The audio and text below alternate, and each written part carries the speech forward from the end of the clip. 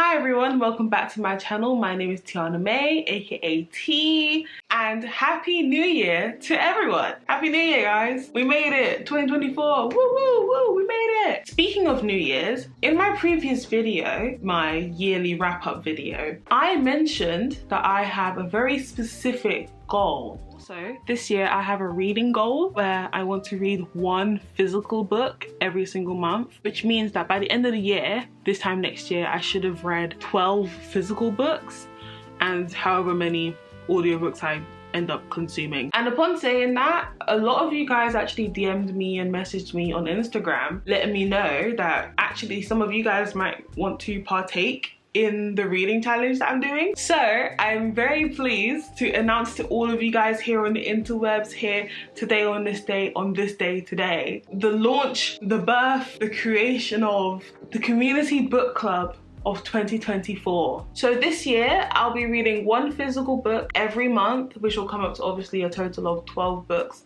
across the year. And before I tell you what books I'm gonna read, I need to set some ground rules, set some golden rules, and just give you guys kind of the framework, the, the aims and objectives, if you will. So the first rule, have fun. This is supposed to be fun, supposed to be explorative, we're supposed to be having a good funky fresh girly pop time. Rule number two, you do not have to read the books that I'm reading. I will provide a reading list, but let's say a book has something that you're not particularly interested in reading, maybe something triggers you or whatever, like anything, just swap the book out. I don't want you to be forced to read it just because your favorite YouTuber is reading it, okay? With that being said, make sure to actually Google all of the trigger warnings and all of the content warnings and all the things that they kind of flag on websites without giving you spoilers. Also, number three, don't feel bad if you can't finish a book in a month. Really and truly, this is just supposed to ignite your love for reading. This is what's supposed to be for me anyways. But if you don't finish a book in a month or let's say you read half of the book and you're kind of like bored with it and you want to like start a new book, feel free to do that. It's really just to make sure that you're consistently reading throughout the year. And finally, number four, whilst I'm personally going to be reading, hopefully, 12 books that are physical books. You can consume it however you want. You can do an audio book, you can have the physical book, like buy the physical book, or you can go to your local library if they have it in there. Please don't feel pressured to buy, like physically pay with money because I realized that there is a lot of privilege in owning a physical book and also just being able to like buy a book. There's a lot of money involved in that and like not everyone is in financial positions enough to buy physical books but libraries are free. And also some libraries actually offer audiobooks for free as a part of the library service. So really check in and look and see if your library offers that because that's low-key a hack. Okay so now that we've gone through all the rules here are the books. As most of you guys are aware if you're watching this in real time this video is being released in the second week of January, so obviously we don't have a full month. January technically has five weeks, it's kind of like two and a half really. So I think for the month of January, everyone, instead of starting a whole new book,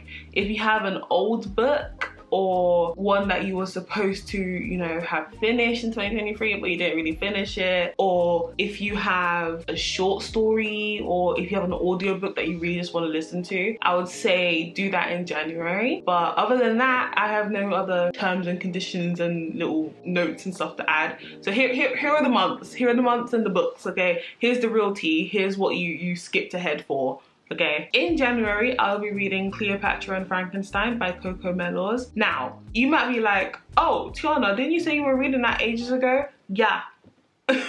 yeah, I started it in 2023 and I did not finish it in 2023.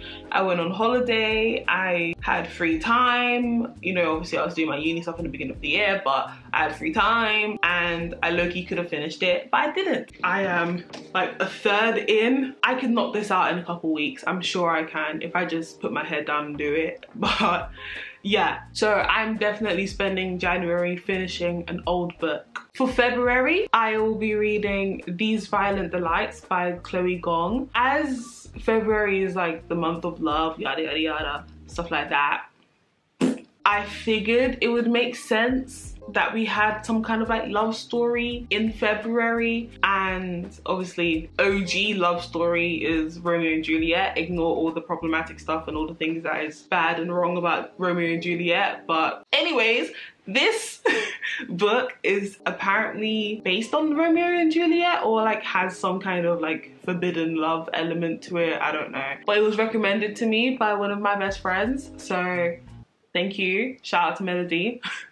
And i'm very excited to read it because the cover is like really cool. And i've seen it before like in and around bookstores but i never picked it up. So hopefully it's good. In march my birth month i've decided to read something i've been wanting to read for a long periodically time which is the seven husbands of evelyn hugo by taylor jenkins reid.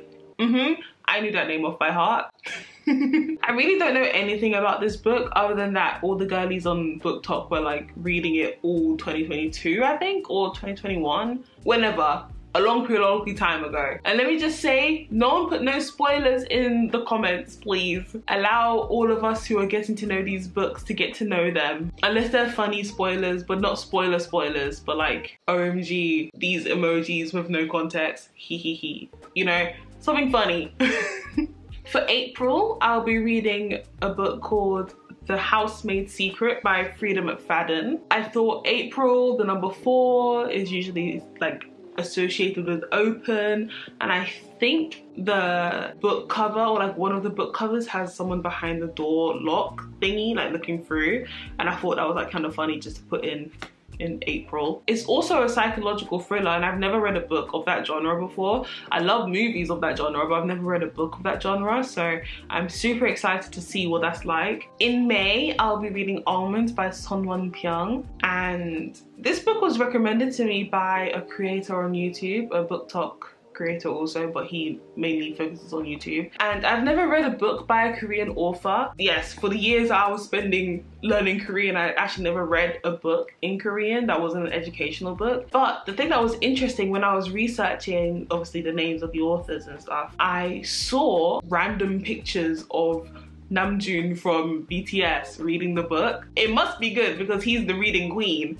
So I'm very excited. In June, I'll be reading The Wishing Game by Meg Shaffer. And I'm not gonna lie, I literally picked this just because the cover was cool when I saw it on the website. I do that sometimes where I kind of just like close my eyes and pick willy-nilly and just pick a random book and then that's the book I'm gonna read and I'm I'm gonna love it. That's what I did with The Knife of Never Letting Go. I just saw the cover and the title and I was like, what is that? Read it and then was obsessed. In July, I have another recommendation from Melody. She's very well read, so I trust her recommendations. It is A Good Girl's Guide to Murder by Holly Jackson. It's really cool because it's about some girl and she's doing her extended project in I assume sixth form and it's about a murder that's happened in the town and I guess she's gonna solve it. I love a whodunit I love discovering, I love watching crime shows. So I feel like a crime book and like a murder mystery book will be my cup of tea. In August, I will finally be reading the Percy Jackson series. And obviously I'm starting with the very first one, The Lightning Thief. I know that the books are really great because everyone who's around my age still raves on about them. So clearly they are very, very good and I love Greek mythology. In September, I'll be reading Alone with You in the Ether by Olivia Blake. I don't really know much about this book. I know it, it I think it has some doctors in it or something. Honestly, the title is what got me to put in my list. Next up in October, we have a book by an author I've read from before. We have a book called Earthlings by Sayaka Murata. She wrote one of my favorite books. It was The Convenience Store Woman. I loved the book. It was short, so if you need a short book to read, if you don't want to read any of these big books that I'm reading, that's one of the books I recommend because it's such a good, quick, but very, very good book. I'm excited to read another thing by her. I've heard that this book is weird and I need to know how weird. How weird is weird? I need to know what's going on. In November, I will be reading this book, Girl, Woman, Other by Bernardine Evaristo. I actually picked this up in 2020 when I was on the way to Korea for my year abroad. I was so bored just walking around aimlessly and I got to the airport super early because of COVID. I had already bought snacks and stuff like that, so I was good on that front. So I was walking through, just looking around, and then I saw this. The book cover just reached out to me and basically told me to buy it. And now, many years later, after being in Korea and never really reading it, I think I read literally like the first page, I'm like, oh, I should read that book. And finally, in December, I'll be closing off the year with The Invisible Life of Addie LaRue by V.E. Schwab. According to Google, the story follows a young French woman in 1714 who makes a bargain with the dark that makes her immortal, but curses her to be forgotten by everyone she meets. The whole premise of the book sounds really fun and interesting, and this has actually been collecting cobwebs in my Notion database for books for a long long time, like for a while. So I'm very excited to finally check that off of my list and close the year with it. So that's all the books I'm going to be reading this year. Feel free to add to the list, take away from the list, do whatever you want. The main goal is just to try and read as many books as you can this year. Also, feel free to swap out books if new ones that you're interested in come out during those months. And at the end of every single month, I'll actually be coming and checking in with you guys, letting you guys know how my reading's going, let you know, you know, any thoughts, any reviews that I have have for the books that we've read in the month and hopefully we can converse in the comments, you know, just share. It will be like a real book club if we actually kind of share stuff in the comments. So please fill it up with random stuff. I wish we could put like memes in there. Ugh, how I wish. I'll be sure to put the reading list in the description in case you guys want to access it later on. And also I'll make a community post so you guys can just check it whenever you guys want to. Also, I'll post it on probably Twitter or maybe threads, whichever one. Also, make sure to follow me on all of my social media whilst I'm talking about it. Follow me on TikTok and also threads and Twitter and Instagram. Gosh, we have so many social medias now, huh? so many. And also make sure to subscribe to my YouTube channel.